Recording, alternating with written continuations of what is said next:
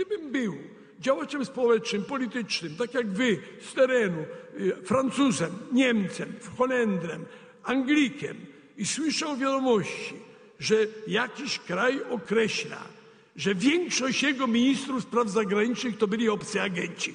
To jak bym traktował ten kraj, tych, którzy się samobiczują, tych, którzy plują na siebie w lustro, tych, którzy plują na 17 lat suwerennej Polski? Kiedy zaczęła się, i to też warto podkreślić, szczególnie tu na tej ziemi, walka o polski interes narodowy.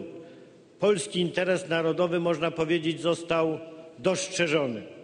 Wtedy zaczęła się ta furia, zaczął się ten niesłychanie agresywny atak. Co my robimy w tej Polsce? Nie my w tej sali, ale ludzie, którzy mają pełną gębę Polski. Polska, Polska, naród, Kościół. Nie wierzcie frustratom, nie wierzcie y, dewiantom psychicznym, którzy pokręceni wewnętrznie którzy pokręceni wewnętrzne swoje kompleksy odreagowują na narodzie. Cóż, proszę Państwa, głosi nasza opozycyjna partia? Otóż głosi, że te wyjazdy, ta fala emigracji to nasza wina.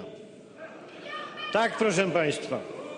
To jest wina rządu, za którego czasu w ciągu tych dwóch lat przybyło w Polsce milion dwieście pięćdziesiąt tysięcy miejsc pracy. Polska potrzebuje rządu, gdzie będzie, w którym będzie widziała godnych szacunku ludzi i ludzi szanujących ludzi, a nie ludzi napęczniałych nienawiścią i nienawidzących ludzi. Jeżeli chcą się leczyć, trzeba poprawić służbę zdrowia dla nich nawet specjalną. Odrzuciliśmy politykę, czy może styl polityczny kłaniania się w pas, którą stosował pewien polityk, który nas dziś na konwencji w Krakowie bardzo mocno zaatakował. Tak, my rzeczywiście w pas się nie kłaniamy.